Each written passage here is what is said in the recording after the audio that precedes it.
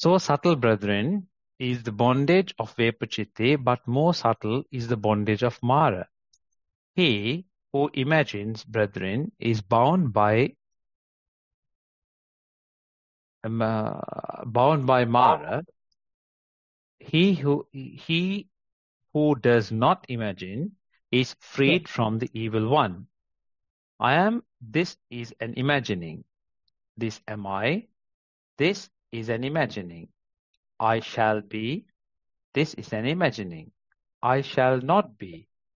Embodied shall I be. Formless shall I be.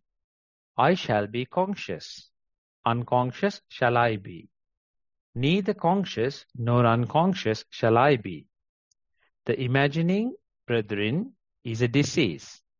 Imagining is an abacus, a barb. Wherefore, brethren, ye must say, with mind free from imaginings will we abide, thus must train yourselves. I am, brethren, is an agitation. This am I. These, brethren, are agitations. Wherefore, brethren, ye must say, with mind free from agitation will we abide, thus must ye train yourselves. I am, brethren, is in palpitation. This am I. These, brethren, are palpitations. Wherefore, brethren, ye must say, with mind free from palpitations will we abide, thus must ye train yourselves. I am, brethren, is a conceptual proliferation. This am I. These, brethren, are proliferations. Wherefore, brethren, ye must say, with mind free from proliferations will we abide, thus must ye train yourselves. I am, brethren, is a conceit. This am I. These, brethren, are conceits. Wherefore, brethren, ye must say, with mind free from conceit will we abide, thus must ye train yourselves. Right. So we will uh, start from there. So actually, uh, I hope to share uh, my screen also.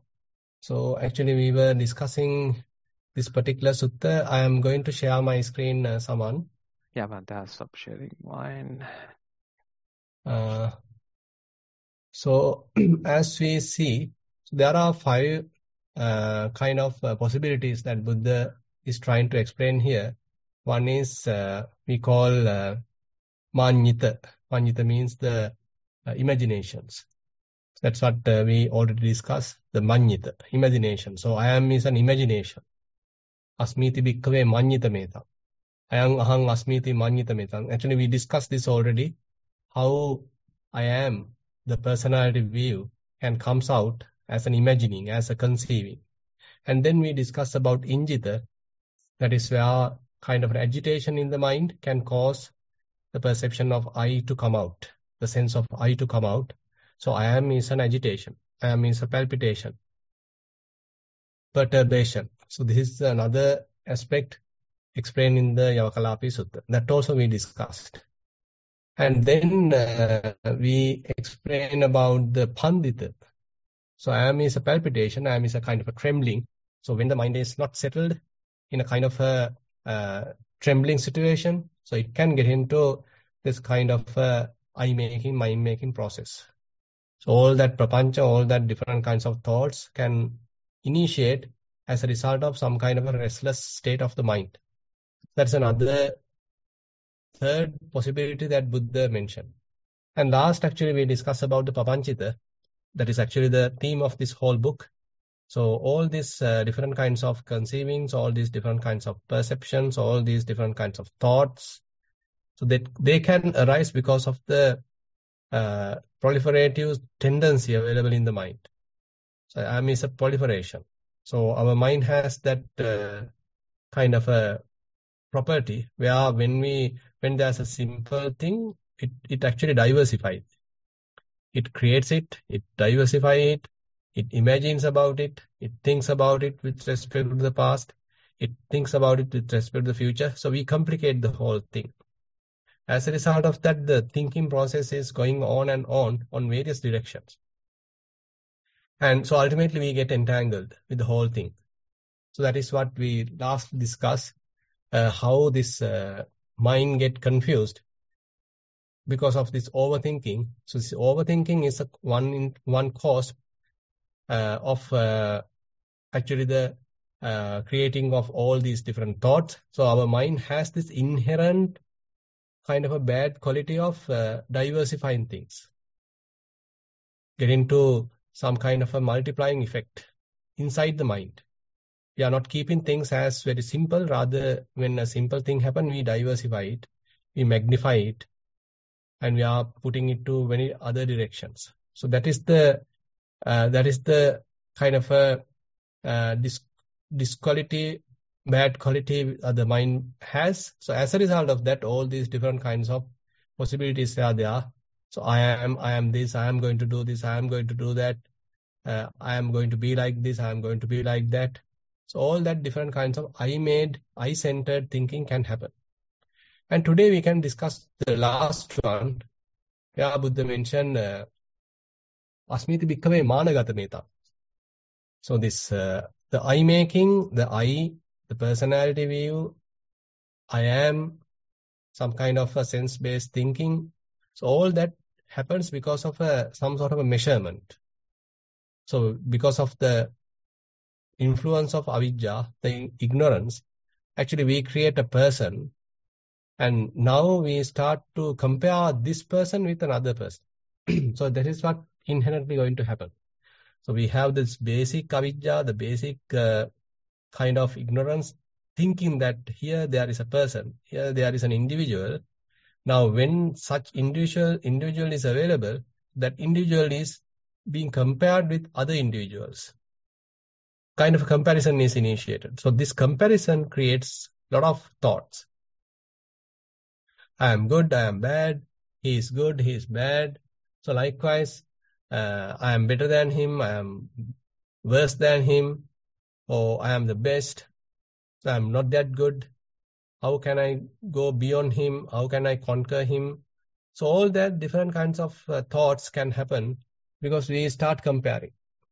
Now this is a very inherent kind of another quality we have in our mind and it's quite difficult quality to remove or we can say a difficult kind of a defilement to remove and it is necessary to understand. Understanding it is also difficult because one, once uh, conceit happens in the mind, we immediately start becoming a slave to that, fool to that, and we are starting uh, acting according to that. Say, for example, if someone is uh, very rich, as a result of that, fair amount of conceit can happen in his mind.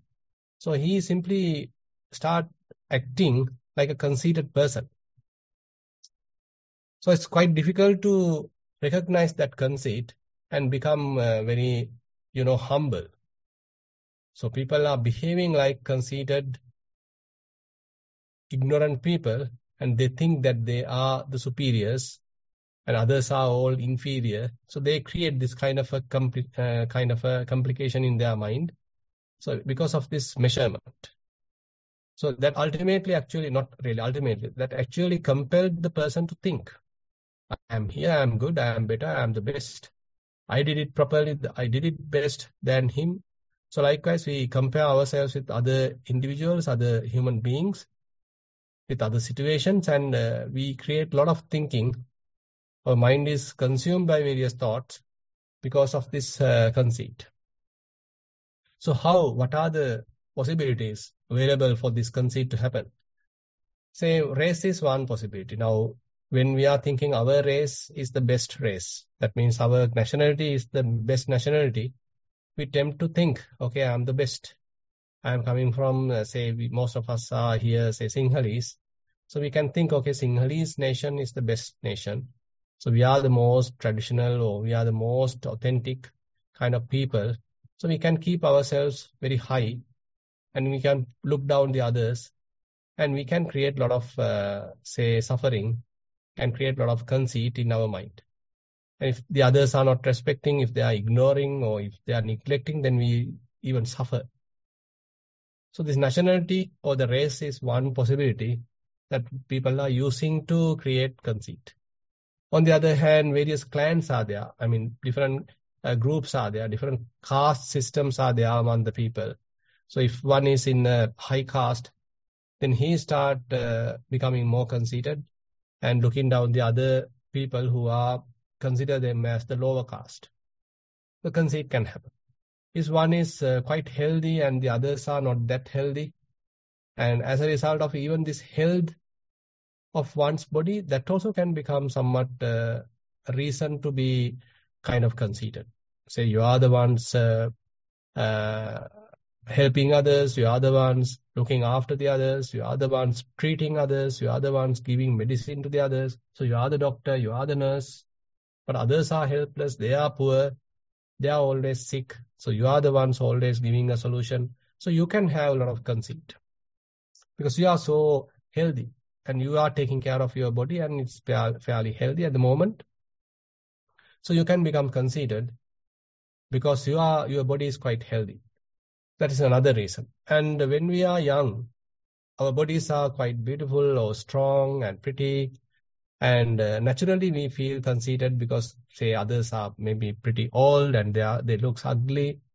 And uh, likewise, we start comparing our body with the others, our strength with the others.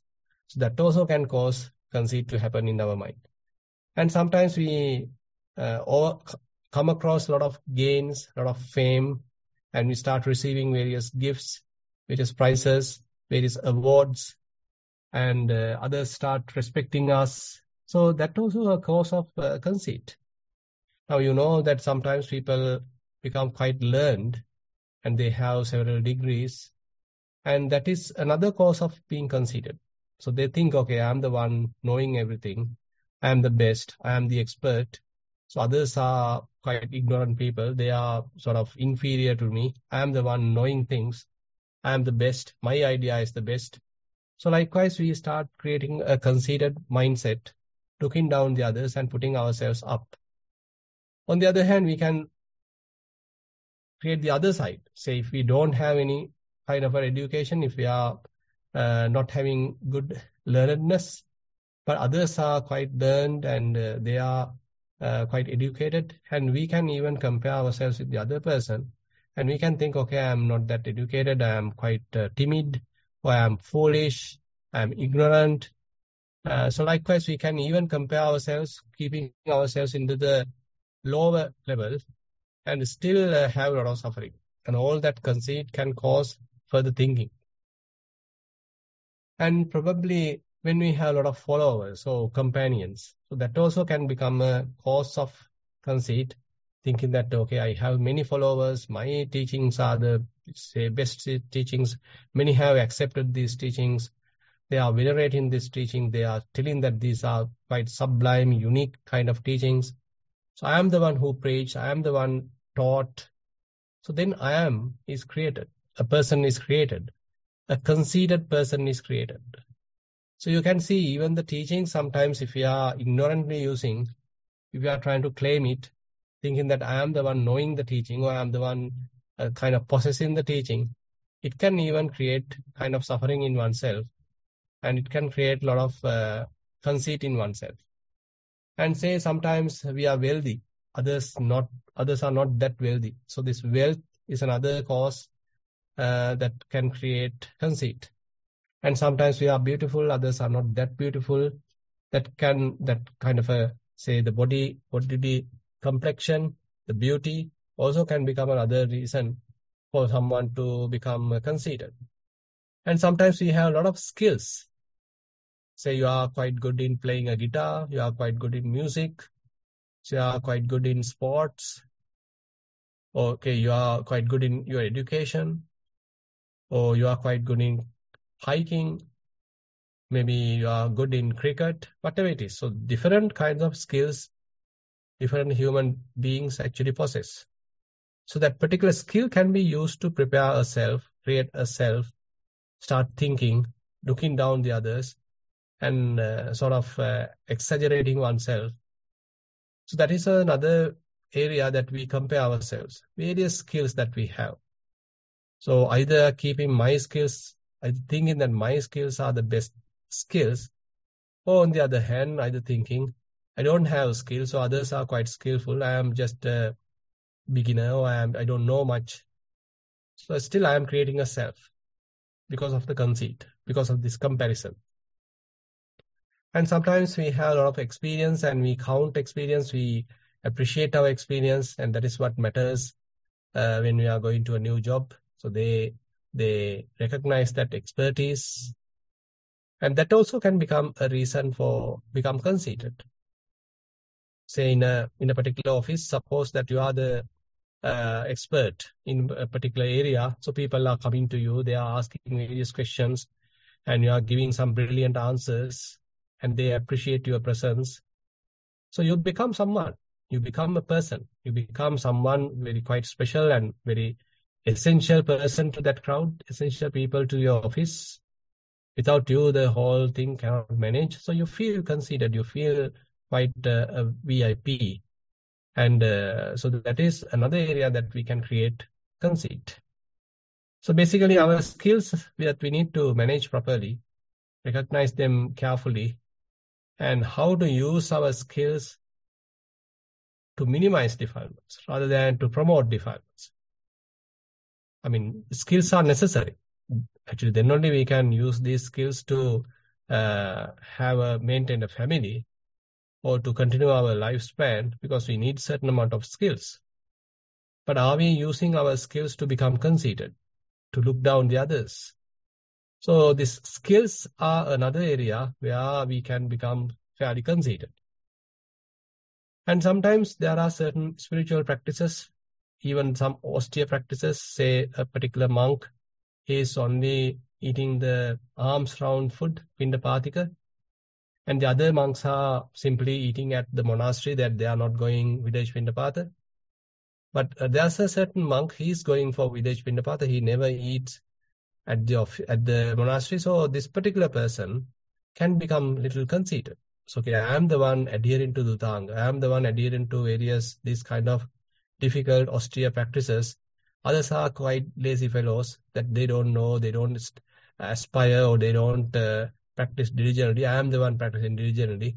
So, likewise, one can become conceited. So, even the Dhutanga, even the austere practices, if you are not properly handling, it can even create a lot of uh, conceit in oneself because you are you are keeping yourself very up if you are following them if you are appreciating what you are doing and you are creating a self out of that and without knowing properly to handle it handle it so ultimately even these uh, spiritual endeavors can become a kind of a hindrance and some other things even our morality even our concentration skills psychic powers all that can become a reason to become conceited say you are maintaining very good sila Others don't have sila. Others are ignorant about their sila. Others are careless about sila.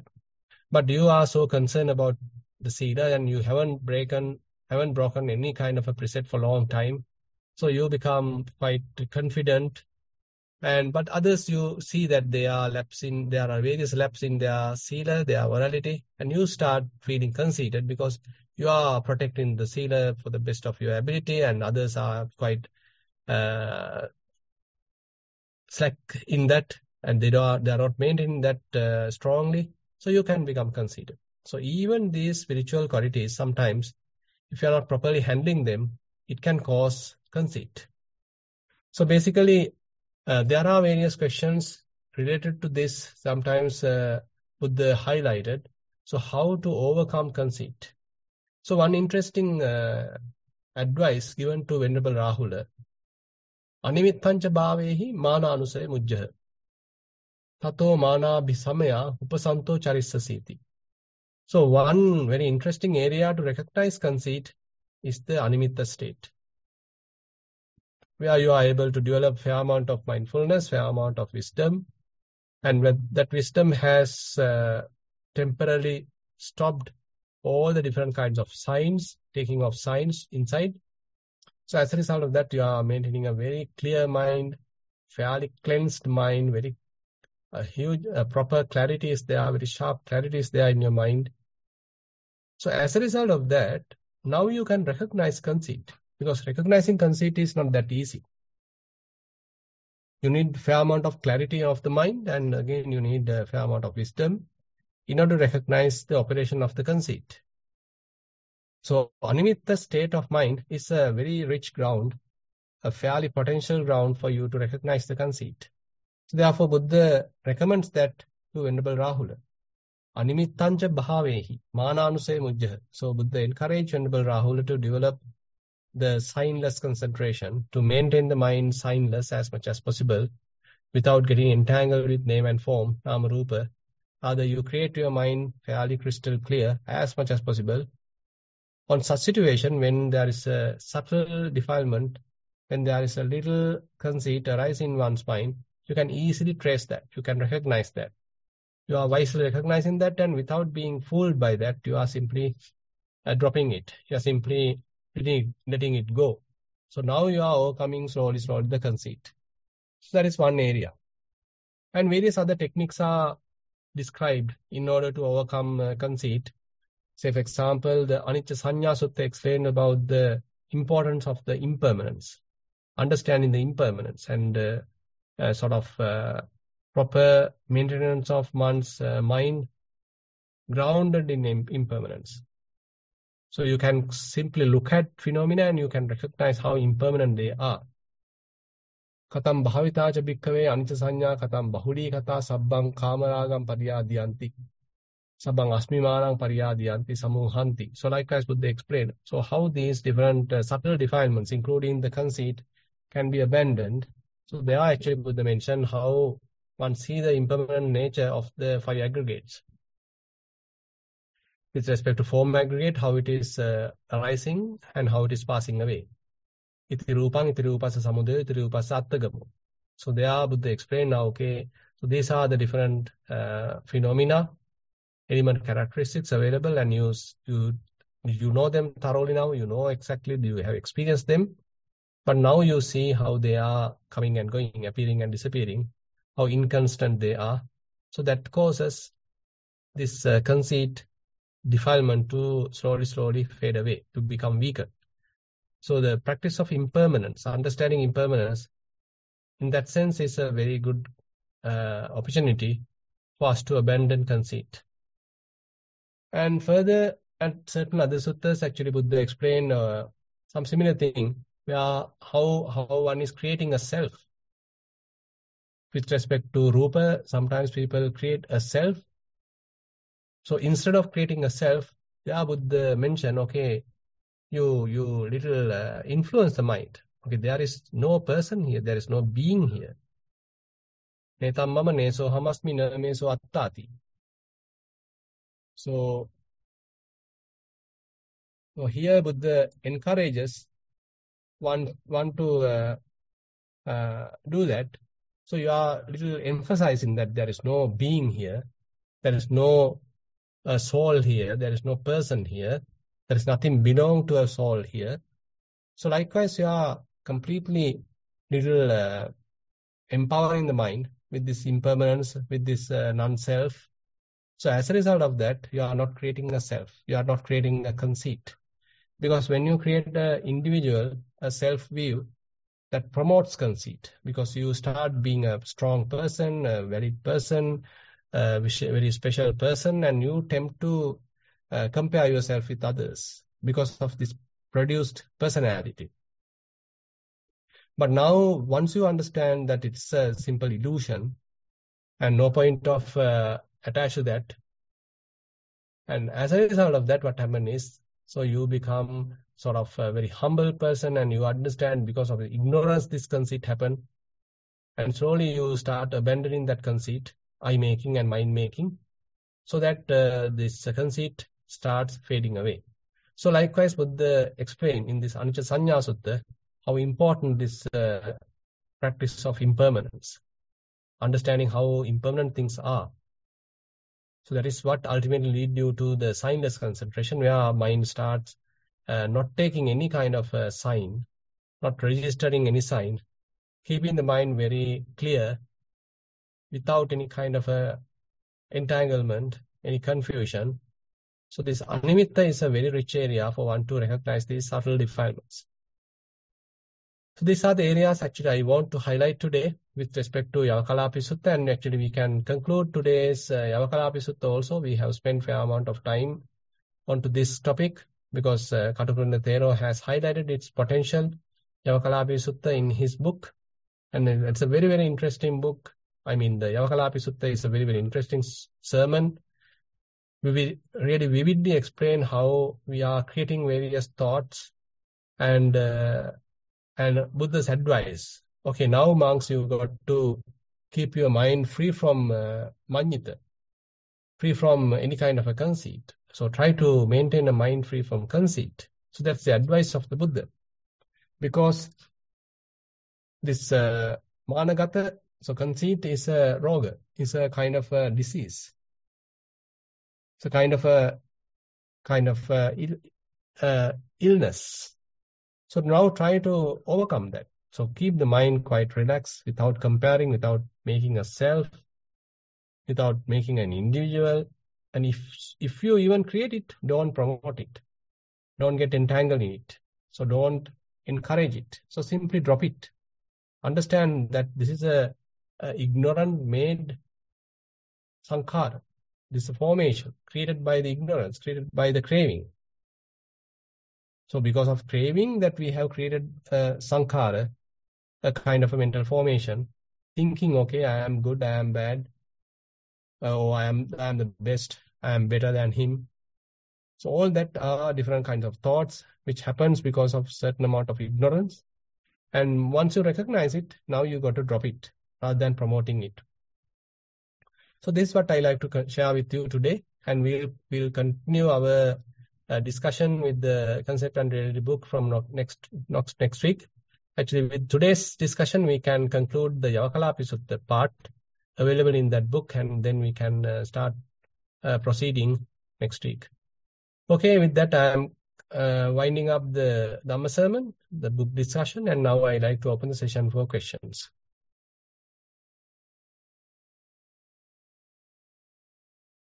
Yeah, okay. Uh, Hiranti, you can uh, maybe you can ask can your question. Yeah. Yeah. Bhante, you mentioned about those three things, the recognize the conceit by na animitta, we are Mhm. taking nama rupa. Are you saying we shouldn't be doing, uh, recognizing it initially, uh, thinking that there is a nama, there is a rupa, and there is no self? Is that the way, or could you kindly describe it a bit further, please? Yeah, actually, uh, I mean, if you can recognize how I is created, a person is created at any level, that is welcome. No need to, uh, you know, postpone it. If you can immediately understand, okay, there's a I made kind of a, a personality is being created, a personality is being uh, promoted at any level. So that we need to be aware and drop it rather than promote it. Say, for example, you are practicing Kaya Anupassana. Typically, we give some uh, prominence to the body and while we are going through that practice, probably we probably may understand how we are using the body to create uh, conceit. Actually, the we are using the body now to develop a certain amount of mindfulness, wisdom, and there are sometimes we understand. Okay, sometimes I'm using this body to create a self. I identify with this uh, body. I'm telling this body as myself. So once you know that, once you know that uh, thought happening in your mind, once you know that mental formation happening in your mind, so Buddha's advice is to see that, see it as a sankhara, see it as a conditioned phenomena. It is based on the ignorance, it is based on the craving. And once you know that, you may start uh, uh, sort of uh, letting it go rather than promoting it, rather than uh, sort of, you know, appreciating it. So you simply understand it's a, it's a simple uh, ignorantly made thought formation. So at whatever level, if you can recognize these thought formations which are based on ignorance and craving, then it's a matter of dropping them. We, do, we don't need to, uh, you know, the postpone that task. You can immediately start that if, if it is possible. Isn't the first jnana is separating into nama and rupa? What is, you see, when you do that, aren't you Right. doing that itself? Yeah, sure. That's why I mean uh, Nama and Rupa. So once you sort of uh, delimit it. Now, pre- previously we had a person thinking that okay, this body is myself, and I am the one thinking, I am the one knowing. So this kind of a wrong, ignorant uh, kind of a view is with us. But now, as we continue our vipassana practice, at one level we may understand okay, there are various bodily phenomena, various physical characteristics, and they they behave like this. And now this behavior is recognized using various mental phenomena. So apart from mental phenomena and the bodily phenomena, the physical phenomena, there is no person, there is no being. That is another uh, level of understanding. So that that can that can cause the non-self, the anatta sanya to arise. No harm, no problem. That that that can be encouraged. But I mean, uh, further and further, as you practice, further and further, all this vipassana practice can promote that, can uh, sort of fur- further second that uh, understanding, further empower that understanding, further strengthen that understanding. So that is why the whole vipassana is further and further thoroughly understanding all these realities. So as you said, at its early stages, stages it may be because of this nama rupa pariccheda. Okay, then as you go along, you just simply drop it. There is no even nama rupa. There is no self. Is that right, Bhante? Uh, actually, there is no nama rupa rather than telling there is no nama rupa. We can see how nama rupa are arising and passing away. Due to various causes and conditions, various name and form are arising and passing away. Various forms, various uh, say matter, material, material parts or particles, they are arising and passing away. Material characteristics, element characteristics, they are arising and passing away. And various yeah, various feelings arising and passing away. So if we simply say that they don't exist, so then we come to another extreme. Rather telling like that, so we are not, we are going to a middle understanding. So so if we if we completely deny their existence, then we are coming to one extreme. We simply say they exist for a long time or uh, eternally. So then we come to another extreme. So without getting to any of these extremes, so we can understand, okay, they are simply arising and passing away. They are continuously changing. Okay, I got it. Bhante, thank you. Teruan Saranai. Yeah, Thiruvan Sannai. Avasarයි, Bhante. Can you hear Yeah. me? Can you hear me? Yes, yes. Please go ahead. Yes. Uh, so um, we have uh, six questions today. Right. Um, question number one of six is on mindful sitting. Dear Venerable Bhante, in our normal life, always, all the time, our body has a shape and some sort of solid form. But during meditation, sometimes I felt like a very, a very big balloon just floating in the air and come back to the body shape later. And some days I experience as a very tall plastic pipe shape. And within five to ten minutes, I come back to the normal shape. My question is, during meditation, is this a mental status? And it shows that even though I have a solid form in normal life, actually there is no form.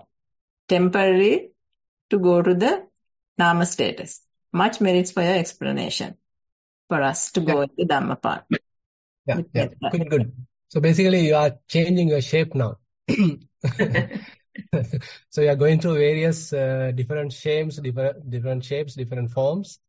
Ultimately, it will whole thing will disintegrate. So in the elements meditation, so uh, I mean there may be a very strong uh, experience where the whole this uh, say mm, compact view. You know that we consider our body as one one unique compact body. So this unique compact body can disintegrate, can fall into pieces, and they fall apart. And uh, so that that becomes some, sometimes uh, one strong insight that people are experiencing in this uh, meditation. So you you can simply welcome that and simply go ahead with your practice. And uh, so the, these different bodily shapes, how you perceive can change, and even this can further change Uh, so don't worry about these different uh, shapes. They are not permanent. Ultimately, all the whole compactness of the body can disintegrate. Question number two of six is a general question. Dear Venerable Sir, can you please explain briefly about Yuganaddha Bhavana? Yeah, That's the end the Yuganaddha, question. Yuganaddha Bhavana means that uh, you are keeping Samatha and Vipassana very much uh, in line. Say, there are other two categories, Samatha Pubbangama Vipassana, the other one is Vipassana Pubbangama Samatha, where uh, you first practice Samatha to a fairly high level and then uh, start practicing Vipassana. That is Samatha Pubbangama Vipassana. And you are trying to practice Vipassana as much as possible without giving much emphasis to Samatha. And maybe later time, you start practicing Samatha. So that is uh, Vipassana Pubbangama Samatha. In the Yuganaddha Bhavana, there you are uh, trying to keep fair amount of attention to all the different, uh, say, indriya, the faculties. You're maintaining fair amount of mindfulness, keeping the mindfulness in front, and uh, being aware of fair amount of concentration available and fair amount of wisdom being available, and trying to balance the whole thing. And sometimes I like to promote that because sometimes when we are going only with the samatha practice, only with the concentration oriented practice, there are certain uh, hindrances, certain shortcomings. On the other hand, if we are not paying enough at- attention to the tranquility of the mind, and that even can cause a lot of agitation in the mind. So therefore, maintaining kind of a balance and giving some prominence to both sides. So you are keeping fair amount of tranquility in the mind. At the same time, you are giving some emphasis on the vipassana, the, the development of the wisdom. That would be better. So that would be the uh, samatha, sorry, the Yuganaddha approach. Question number three of six. This is mindful sitting. Dear Bhante, I participated in December retreats and much merits for your guidance and training beforehand. During the retreat, I had the opportunity to practice multiple times a day and to get reflections reviewed. My sitting practice was observing the breath, and I have experienced that after the breath fades away, the focus always comes to the sitting posture and subtle movements of it. Also, time to time, I automatically get focused on sounds and sounds of silence, and sometimes to thoughts coming and going. I recall Bhante mentioning about secondary objects and keeping equal attention and focus on anyone which is coming to the front. Appreciate if you can elaborate more about these secondary objects and how we should treat them and their role in our practice with metta. That's the end of the question. Yeah, but uh, not at the beginning. So at the beginning, better we give more prominence to the primary object. so typically, the beginner has to be promoted to associate the primary object as much as possible, and using which you are developing fair amount of mindfulness and concentration. And later, you, your mindfulness expands, and so you are you start uh, being capable of uh, recognizing even the secondary objects and they now become not a huge distraction. Previously, secondary objects can become kind of a distraction, but now uh, not that. So at that level, actually, you can look at any phenomena. So your your your field of uh, awareness become broader, and your practice can be uh, fairly broader, and you can continue like that. Question number four of six is a general question. Dear Venerable Bhante, Satara Satipatthana meditation method, the way we have been taught mainly focusing on vipassana and never focusing on samadhi. Without having samadhi, what would be the method to achieve samma samadhi? Then towards sotapanna. Much merits. That's the end of the question. Uh, actually, I can't uh, fully accept the question as it is. Uh, basically, uh, in Satipatthana, we have certain amount of samadhi as well. So we can't say that we don't have samadhi at all. Uh, so basically, Satipatthana practice takes you to a certain amount of samadhi, which is uh, capable of looking at various phenomena in a more subtle, precise way, so that you start understanding their true nature. so one thing is that what is samma samadhi? So that is actually we discussed sometimes back what is samma samadhi in uh, certain suttas. You can refer uh, one of the discussions that we conducted based on uh, Professor Analayo's uh, one of the research papers. So, what is uh, the different kinds of jhana and uh, how they are appearing and how they come into being as the Samma Samadhi and they become overemphasized and how certain wrong interpretations have given. So probably that is another area that you can look at. Probably I'll share that uh, with you that uh, uh, the Sutta teaching se section, I have discussed this. Uh, you can refer Sutta teachings. Uh, I'll, I'll put the link and you can look at that. Uh, so the point is actually Samma Samadhi has different uh, ideas. If you refer uh, Chat, Sutta, so there Buddha defined Samma Samadhi based upon the proper balancing of the path factors. So when Sammaditthi, Samma Sankappa, Vacha, Kammanta, Ajiva, Vayama, Sati. So all these are in proper collaboration, in proper equipoise. And that is the state of Samma Samadhi. So that is the most preferred uh, definition I would like to uh, take up because there's a fair amount of balance is there in the mind. Uh, so I like to take that as the important uh, aspect of Samma Samadhi, where all the path factors are well balanced, all the faculties are well balanced, and not only the Samadhi become more prominent, like in a jhana. In a jhana, the point is that uh, uh, the the concentration become more prominent, more than the other factors. But in the Samma Samadhi, as explained in the Mahachattarisaka Sutta, so there Buddha explained the Samma Samadhi as the proper balance, equipoise of all the path factors. Then we have achieved the Samma Samadhi. And then the other thing is uh, sometimes uh, certain, uh, say, jhanas have become too much overemphasized with time. So during the Buddha's time, so they they being treated with fair attention, but not overemphasized. A fair attention was given to vipassana, so to overcome various defilements. But with time, actually, the deeper concentrations have become more prominent and they become more uh, cause of attention. And ultimately, in certain suttas, so they being they have become the definition of the Samma Samadhi. So that sometimes actually Venerable Analayo, he, he basically argues that can become a deviation from the original teachings of the Buddha.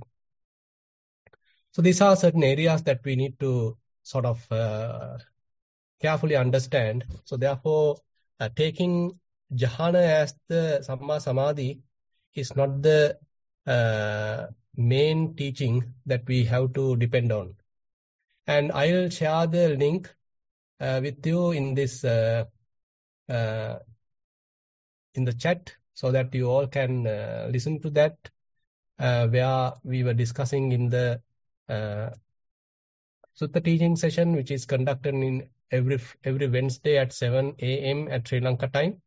So if you like, you can join with it. Otherwise, you can listen to the recordings available in the internet. And these are two uh, sermons discussions that we use we did in that session and I have put the links into the chat. Thank you, Bhante, for that. Um, Yeah. Question number five of six. now, this is a Dhamma sermon question. Dear Bhante, our skills and experience as a cause of conceit as explained today.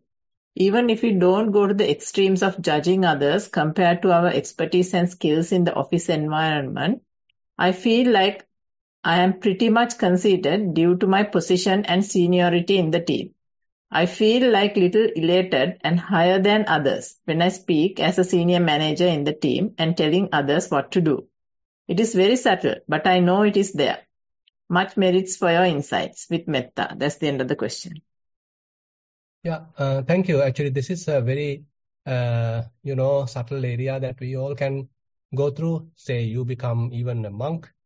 Now I being a little senior monk and I can feel conceited when uh, some followers are there, some say others are paying respect and other junior monks are respecting me. So I can, the conceit can arise. So we need to understand that. So it is not that we ignore the role, we we we neglect the role and we stop playing the role, but we need to play the role. At the same time, we need to understand if there is any kind of a conceit going to happen, going to arise when we are playing the role. Say, for example, you are a senior person, you are a senior manager, and you are, you need to play the role. So while playing the role, is there any conceit arising? Say you recognize it and don't be sort of uh, fooled by that, or you don't become ignorant by that, uh, driven by that. So simply recognize that and don't uh, simply abandon that. So you become, uh, you know, uh, grounded rather than uh, completely assumed by that. So sometimes what happens is we are quite ignorant about it and we simply start uh, behaving like fools, uh, completely uh, conceited with that uh, different views. But uh, when we know that there is a possibility of arising conceit, and we become quite quite proud and looking down the others, so that is the area that we need to properly recognize and to avoid that. Question number six of six. This is again a Dhamma sermon question. Dear sir, as I try to practice mindfulness regularly, regularly, immediately when my mind drifts to some sort of conceits around me, I could recognize and manage not to go behind, behind that. Is that the way we could overcome gradually mind inherited conceit? That's the end of the question. Yeah, definitely. I mean, this is what we are further expanding, and uh, this possibility to recognize these kind of conceit uh, inherent in our various thoughts, included in our various thoughts, become more evident as we continue our practice. At the beginning, it could be some sometimes difficult, and uh, without much of our attention, we can easily become conceited. Later only we understood that, but with the practice, we start uh, recognizing the possibility of arising conceit more clearly as we are continuing our practice. So that's why you can refer that that advice to Venerable Rahula, animittancha bhavehi mananusaya mujjaha. So there are Buddha's advice is okay, now you develop a fair amount of animitta, where the mind is quite clean, very clear, there are no signs, so you can uh, easily recognize when the conceit arises in such a mind. So we need to have fair amount of uh, clarity in the mind in order to recognize these kind of subtle defilements. So with time, you are you are being further developed to recognize the con- conceit arising in your mind. We just got two more questions. Uh, so this is question number seven of eight. It's a general question. Venerable sir, what is the meaning of Naya Vipassana? Yeah. So typically, Naya Vipassana means that now, say for example, you are developing Vipassana with respect to yourself. Say you are analyzing your body. So I am using the term your just to explain the thing. So you are using your own body to recognize various phenomena. You are using various thoughts, various perceptions, various feelings. All are very much like uh, ajat. All are very much like internal phenomena, your phenomena. Belongs to your body, belongs to your mind. But the understanding is not limited to that. Say the developed developed under, understanding, the developed insights that we have gained are now capable of even putting to the others others bodies, others minds, or other situations. Now you are expanding your understanding. So the Naya Vipassana is where you are using the developed insights to understand all other external phenomena as well. Maybe some external inanimate things or animate things. You are trying to understand through the developed insights. So you have developed certainly these insights using the five aggregates, what is very much belong to you. Ultimately, you understand they also not belong to you. So they are basically non-self. And you are using this understanding to the others as well. Now, now everything become uh, very much clear. And it's very much like uh, inferential knowledge we are talking. Anumana jnana. Inferentially, we can understand, okay, this is this is the common situation to everywhere. Say you understood your body is uh, created with a lot of uh, element characteristics. So every uh, all the physical phenomena are like that. So the internal and external uh, distinction become uh, invalid. Question number eight of eight. is a uh, Dhamma sermon question. Bhante, what is the meaning of animitta state? That is the end Yeah, of the that is question. Yeah, yeah. So that is the state that uh, say when you develop particularly the impermanence, anicca sanya. So you start uh, recognizing, say for example, you are recognizing various thoughts, how they are coming and going, how impermanent they are, how subtle they are, how quick they are, how inconstant they are. So as a result of that, you develop a fair amount of uh, wisdom of the impermanence. And when impermanence being fairly developed, so these thoughts come and going, coming and going, you can't even understand what is the category of thought. Whether it is a, whether it is an angry thought or whether it is a lustful thought, whether it is kind of uh, any other category of thought, you can't understand because they are so quick. You can't take a nimitta, you can't take a sign of that uh, thought. Say you are using various feelings and then you are, can't understand whether it is happiness or whether it is uh, pain or whether it is equanimity. You can't even understand that because they are very fleeting, completely inconstant, very transient. So that is the position, situation where as we are continuing, so the possibility to capture signs, marks become less and less. Ultimately, mind drops everything. And ultimately, since mind has dropped everything, so it become liberated. It can become completely uh, detached from every phenomena. Now we call signless state. And as we continue that for a long time, then we achieve kind of uh, signless concentration, animitta samadhi, where now the mind is not taking any signs at all. Say you may see see things, but uh, no sign being taken in. You may hear things, but no sign being taken in. And uh, likewise, you may go through certain experiences, but the mind does not capture any sign. So mind remains uh, clear without any sort of sign, and the mind's clarity is intact. Mind clarity is maintained for for some time. So at that moment, we can say, okay, you are you are maintaining mind in the signless concentration. Uh, that is the uh, end of the written questions. So I think uh, we will end the program for today. Bhante has to, uh, there's the uh, retreat going on at Nissaranavanaya. So to end the program, I would first like to thank Bhante for his valuable time, even with the busy schedule at the monastery.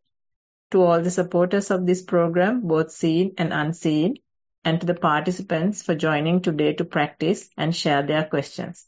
Sadhu, sadhu, sadhu. Teruvan Saranai, Yeah. Science. Yeah, that one, Sanai.